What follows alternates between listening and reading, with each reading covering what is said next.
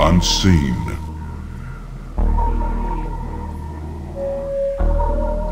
A dwelling of pure thought shaping our futures.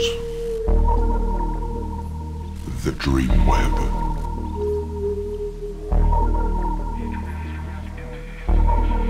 Watched over by servants, billions of years old.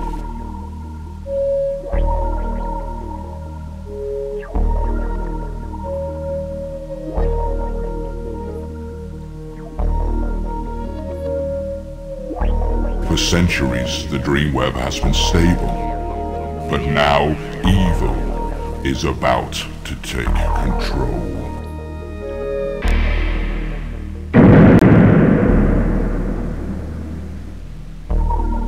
Keepers, the web of dreams is slowly unwinding. The seven evil powers on Earth are joining forces.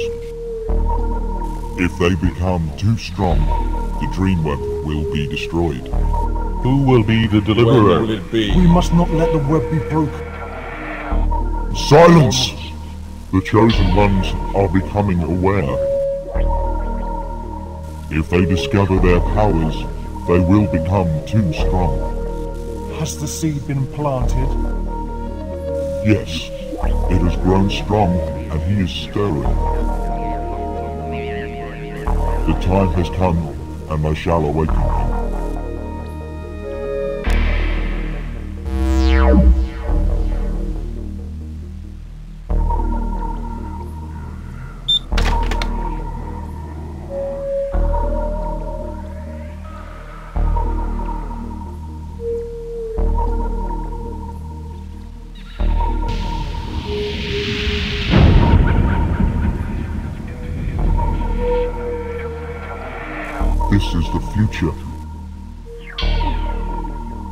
I know what you want from me. I understand now. The seven are becoming stronger. They've haunted my dreams. I know. They control the seven points of the Dreamland. Must they be destroyed? Yes, I can feel they are all close to me. Who will be the first? his name is Crane. He is the weakest of the seven. How will I find him? He is very near. Arm yourself and begin your search. Time is running short, my brother.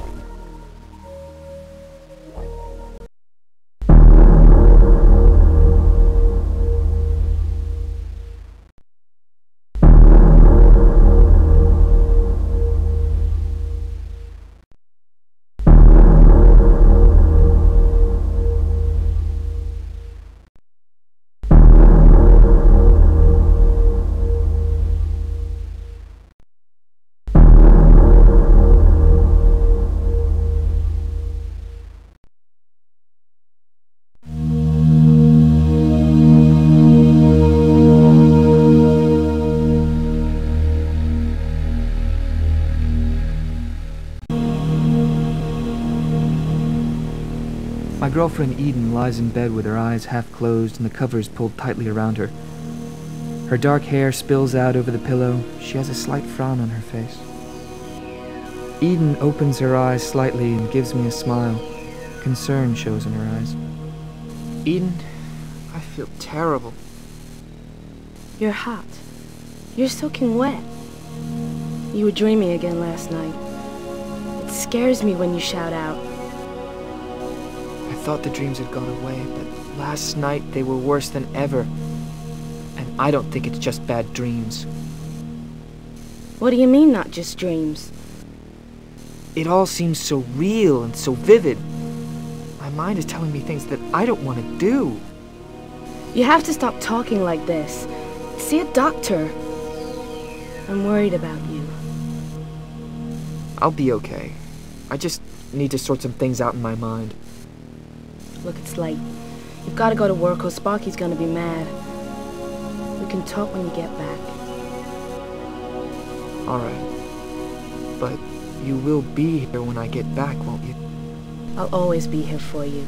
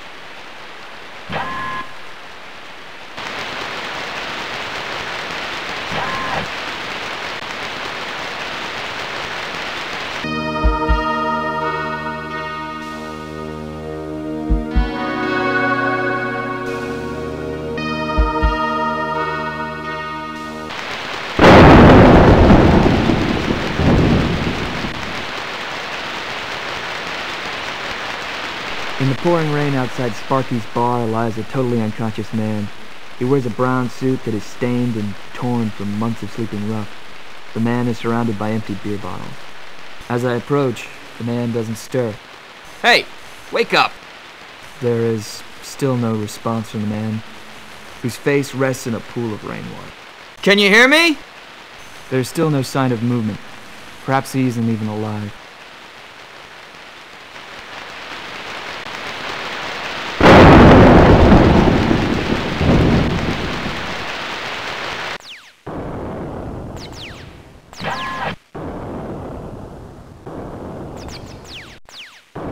Sparky has stood behind the bar. Obviously, he has no staff available and has to work himself. Sparky is overweight and scruffy. His belly pokes out from beneath his gray shirt. He doesn't look very happy. Hey, Ryan. Did you get my MailNet message? No, uh, sorry. I mean, sorry I'm late. Oh, that's okay. No problem at all. Really? Yeah, you're fired. If you'd bothered to read my message, you would have known by now. You can't do that. I, I really need the money. Sorry, Ryan, I can't use unreliable staff. Look, I'm sorry. I've been having a few problems sleeping recently. Uh, I'll, I'll try and pull myself together. I'll tell you what to do. Take a couple of weeks off. Try and sort yourself out. You ain't any good to me like this. Thanks. I, I really appreciate it. Do you think I could have my wages? Oh, yeah. Yeah, I guess so. Even though I ended up having to work behind a bar myself. Just run your card through the scanner. Okay. And I promise I'll sort myself out. Sparky looks at me expectantly. Perhaps I'll do as he says. Sparky has stood behind the.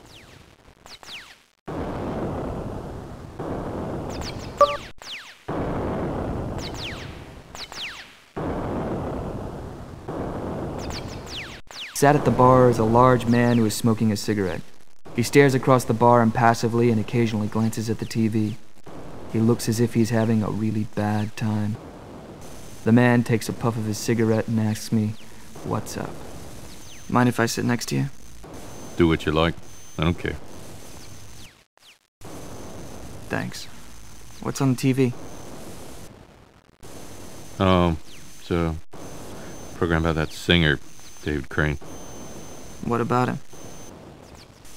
He's playing some concert the night. Just arrived in town. Where's he staying? At um, a hotel called the Regency. Hey, what is this anyway? What's all the questions? Oh, no reason. The Regency is that big place near the bridge, isn't it? Yeah. Yeah, now why don't you just shut up and leave me alone?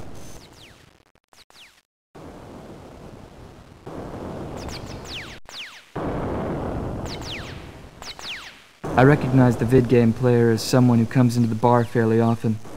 He wears a brown leather jacket and torn and faded jeans. He's concentrating intently on his game.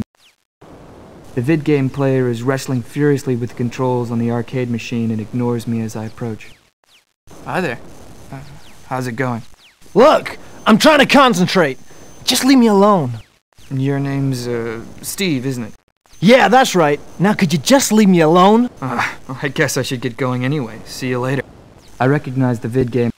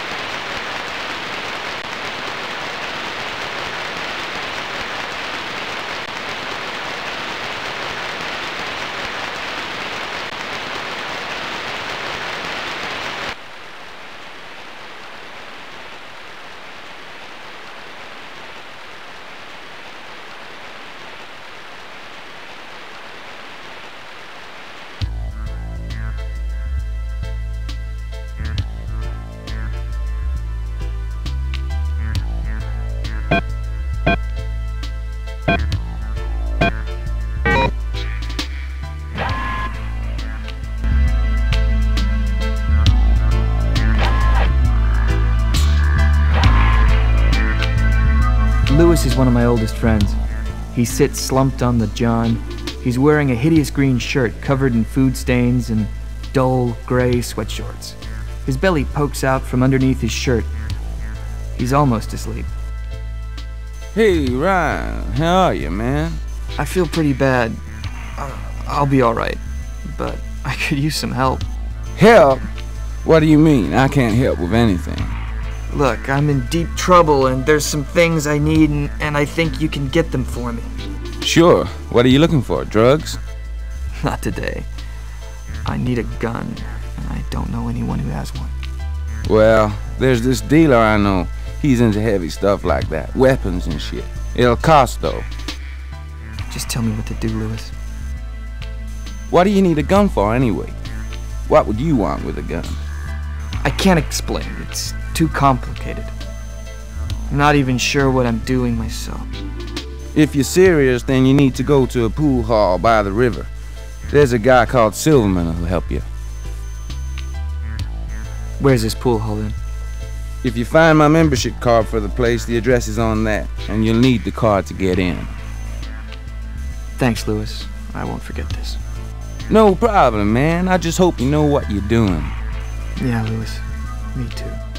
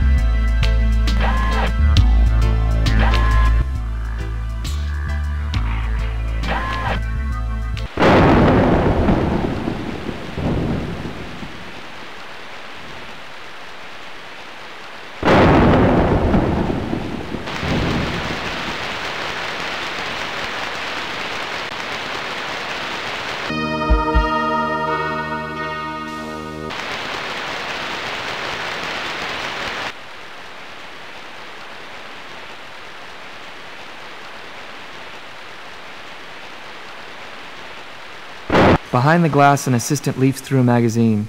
He's about 50 years old and has ginger hair and small round glasses. He has sat with his chin in his hands and pays little attention to me. Look, I'm sorry. If you're after new membership, I can't issue any until next week. Actually, I've got a friend's card here. You can use someone else's card if you like. If it's okay by them, it's okay by me. Won't the electronic thumbprint on the card be wrong if I use this card, though? Look, I shouldn't be doing this, but if you use someone else's card in the reader by the doors, I'll sort out the rest. Yeah, thanks. I'll do that. No problem. You can owe me one.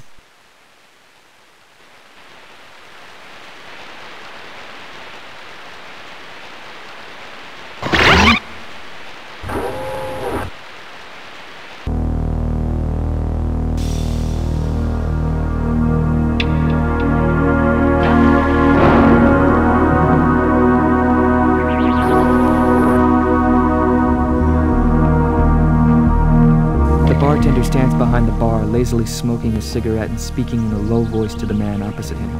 As I approach, he looks at me with suspicion. What can I get you? I've been told I can get some help. Oh, yeah? By who? Uh, my friend's name is Lewis.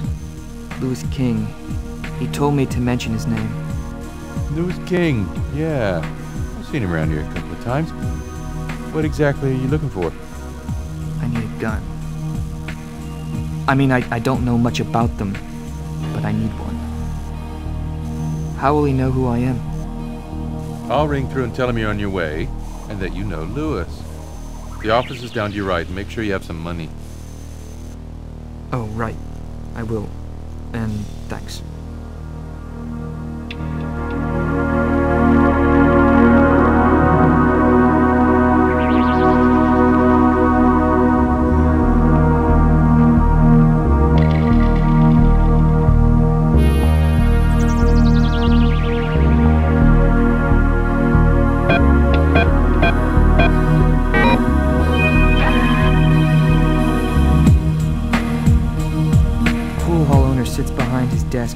On a large cigar.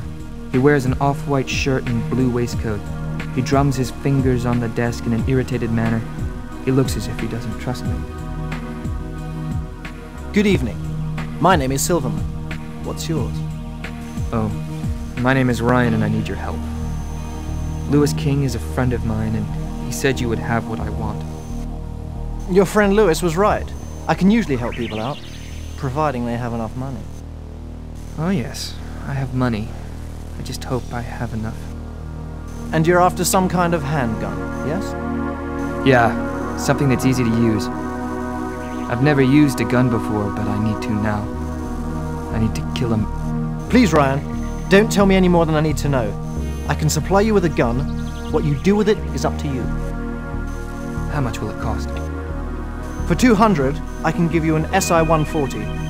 It's a fully automatic pulse laser weapon with a full pack of ammunition and computerized sights. Uh, that sounds fine, I guess. A child could use it. The gun virtually aims and fires for you. Will this weapon be acceptable? It'll be fine, thanks. If you could just put your cash card through the scanner on the desk, I'll deduct the money. Okay. And thanks for your help, Mr. Silverman. That's all right. Give Lewis my regards when you see him.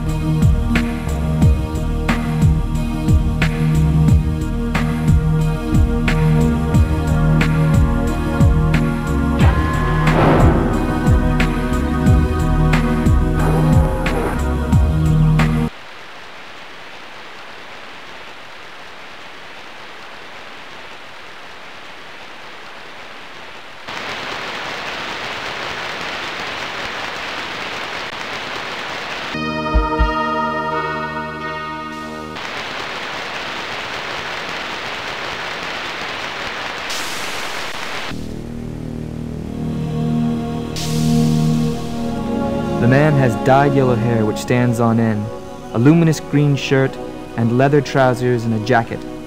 He seems bored as if he stood here for hours.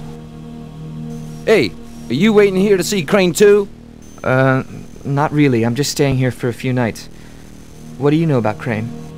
There's nothing we don't know about him. We've been waiting here for two days just to catch a glimpse of him. Are you sure he's in this hotel then? Oh, yeah. He's got the best room in the hotel. The penthouse suite. It's supposed to have a pool. Well, I hope you see him then. Yeah, catch you later. Sat on the sofa is a girl wearing a purple dress made of a strange material that seems to change color slightly as she moves. She sits staring out across the lobby. Occasionally she says something to the man stood next to her. Oh, hello. We're waiting for David Crane. Don't you just love him? I... I've been to all his gigs and I've got all his albums. Well, actually, You know, I've even got his early stuff. He spat on me at a concert once. God, it was great. uh, yeah, I'm sure it was. Catch you later. Oh, well, okay. I'll see you then.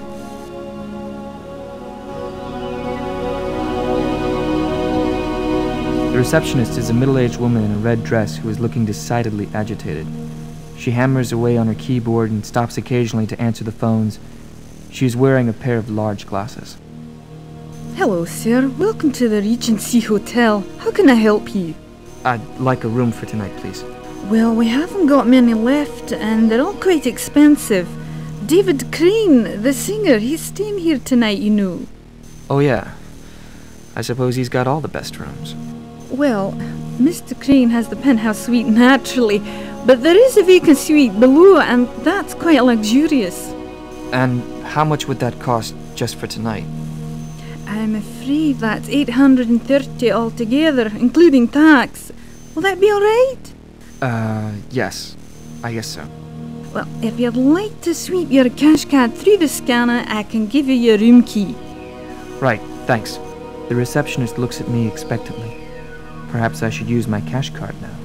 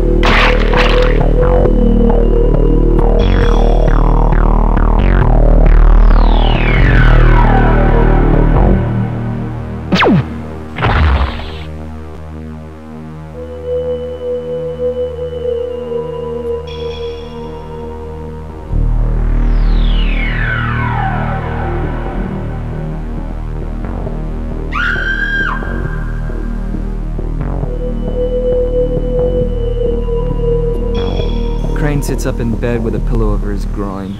His forehead is beaded with droplets of sweat and his chest rises and falls with his rapid breathing. He looks as though he's scared of me. So you found me. The keepers have sent their deliverer. Then you are Crane. It won't do any good. Killing me will only make the others stronger. I must kill you. Then the nightmares will end. No! Please! Spare me! No. I know what I have to do. Crane sits up in bed with a pillow over his groin. His forehead is beaded with droplets of sweat and his chest rises and falls with his rapid breathing. He looks as though he's scared of me.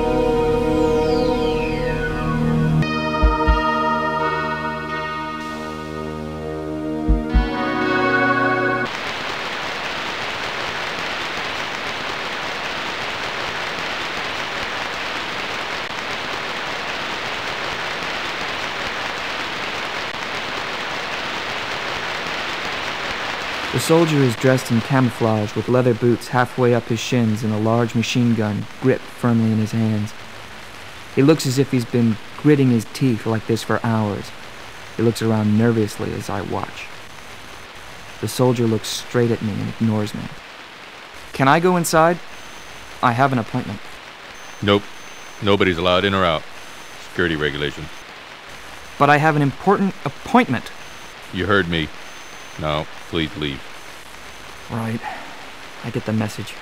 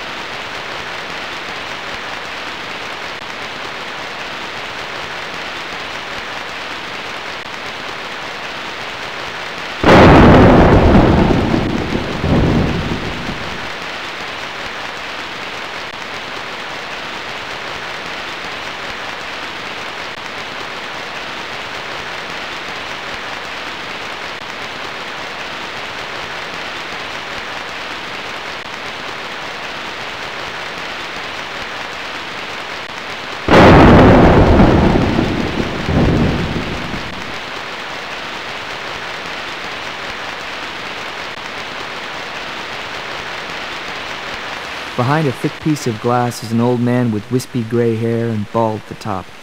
He has a blue uniform on with gold rings on the cuffs and lapels. He leans on the counter as if he's waiting for someone. How can I help you, young man? Uh, I've got an appointment. Look, the military have closed us down for the day. No one has an appointment. But you must have made a mistake. I can take your name and book you in for tomorrow if you like. Why is the TV station shut down? Military General Sterling has a special live TV interview this afternoon about the Middle East. I see. Well, thanks anyway. Goodbye, sir.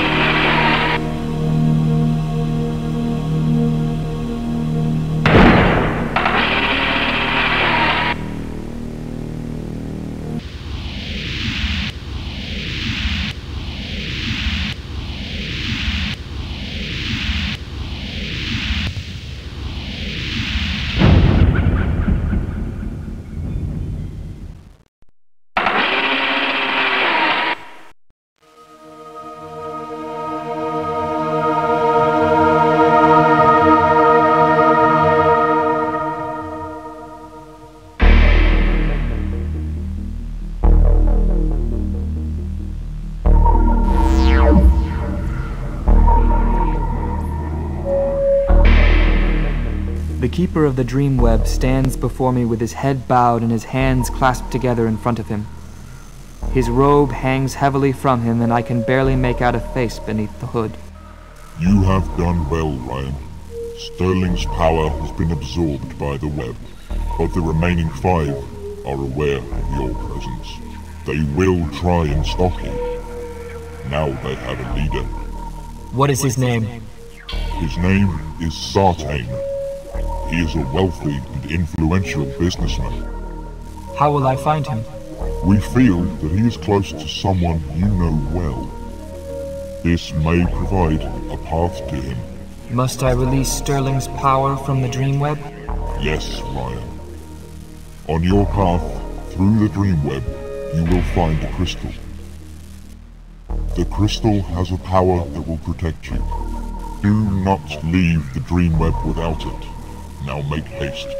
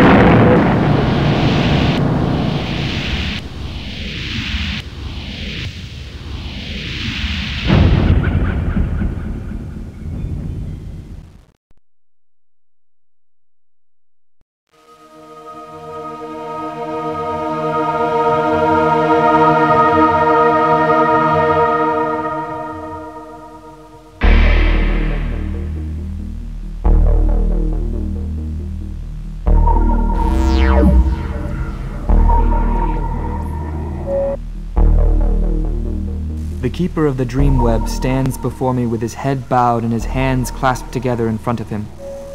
His robe hangs heavily from him, and I can barely make out a face beneath the hood. Ryan, we believe that the remaining four have begun to fight amongst themselves. What has happened? We sense that one of their number, a woman named Chapel, is weakening. If you reach her before the others, she may help you.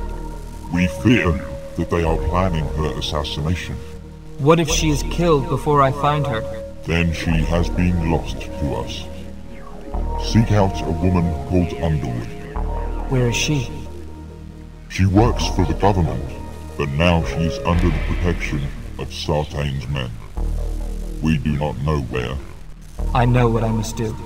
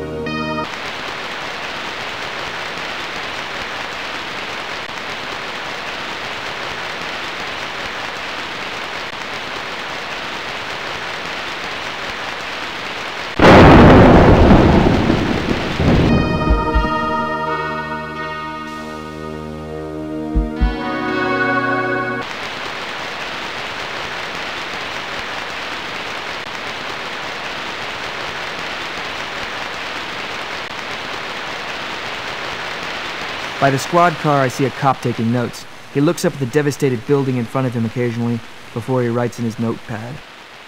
Sorry, sir, I'll have to ask you to leave the area. What happened? Looks like a terrorist attack. Are you a journalist? No, I'm not. Actually, I knew Miss Chapel. Was she inside? Well, so far we haven't found a body inside the house. Can I go inside? No, you can't. There's still plasma residue from the explosion. It's too dangerous. Okay. Maybe I should speak to her family. Yes, sir, that's a good idea. Now, if you don't mind, I got work to do. Okay. Goodbye.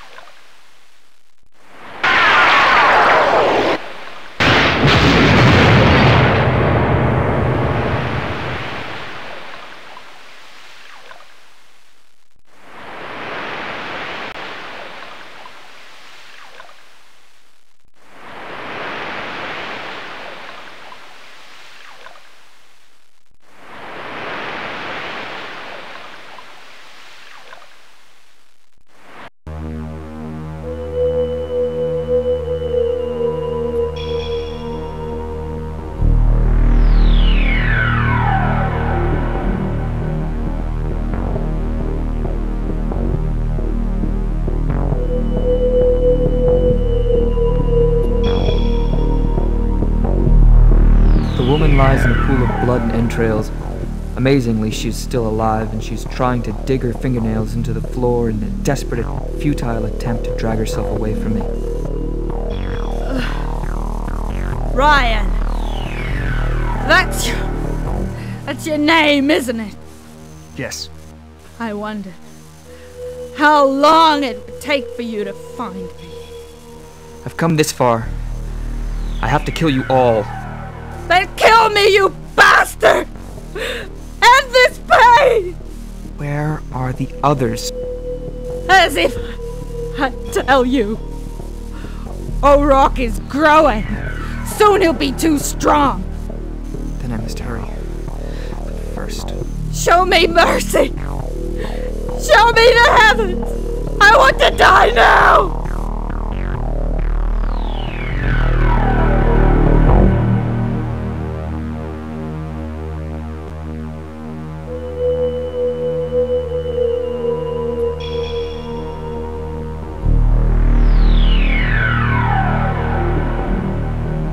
Woman lies in a pool of blood and entrails. Amazingly, she's still alive and she's. Oh, what are you waiting for? It hurts, doesn't it? Kill me, please!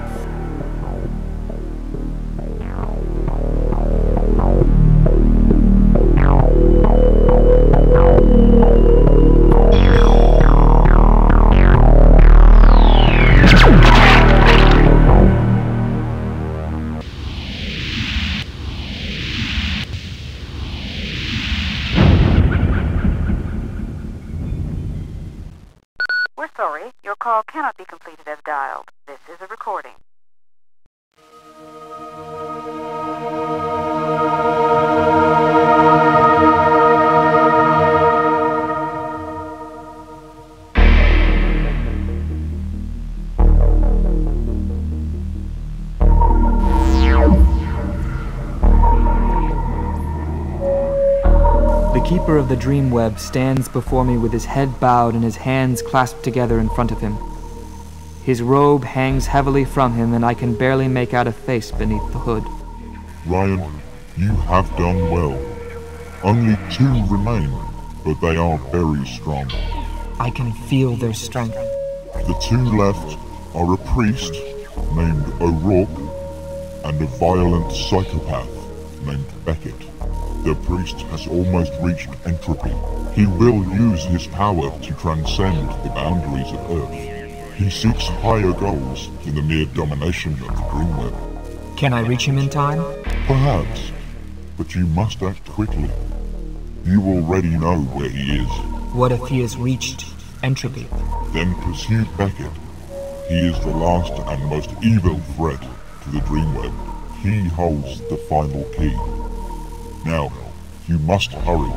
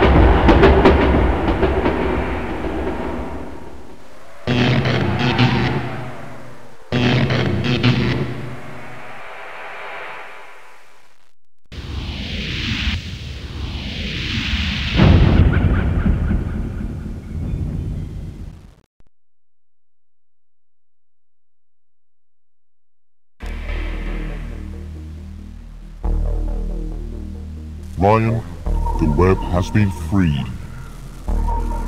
The commanding positions have been filled. No absolute good or evil, but neutrality. We will now protect the web. Your task is finished. From here, you must return to your life. It will never be the same, and the consequences will be great. You have saved our dreams.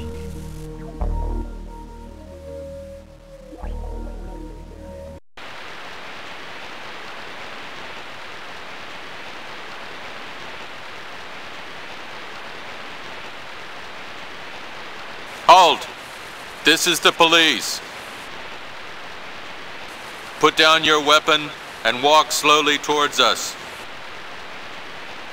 If you do as we say, you will not be harmed.